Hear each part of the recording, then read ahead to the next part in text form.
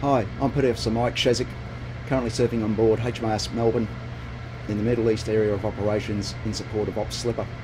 I'd just like to take this opportunity to wish my family and friends a very, very Merry Christmas and a Happy New Year, uh, especially my wife Carol and my two sons Jason and Andrew.